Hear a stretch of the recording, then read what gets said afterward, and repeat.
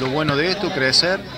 Venimos sosteniendo que nosotros somos un equipo de formación y que estas cosas no pueden llegar a pasar de descuidarnos y con un equipo que no se puede cometer errores. Y bueno, hoy nos tocó cometerlo y nos vamos con la derrota.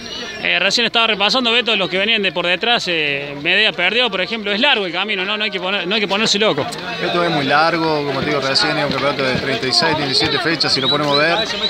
Nosotros tenemos que ir partido a partido. Sabíamos que esto no podía llegar a pasar porque tuvimos un esfuerzo grande de juego también, sin poner ninguna excusa.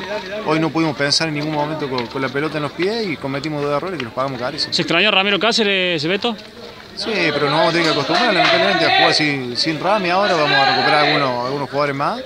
Pero bueno, que a trabajar desde el lunes porque esto, como decís vos, es muy largo.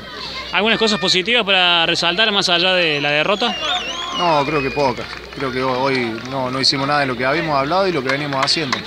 Creo que Bella Vista nos, nos metió un campo nuestro, no nos dejó y no le pudimos encontrar la vuelta a los dos delanteros rápidos que tienen y que nosotros sabíamos que iba a ser así el partido.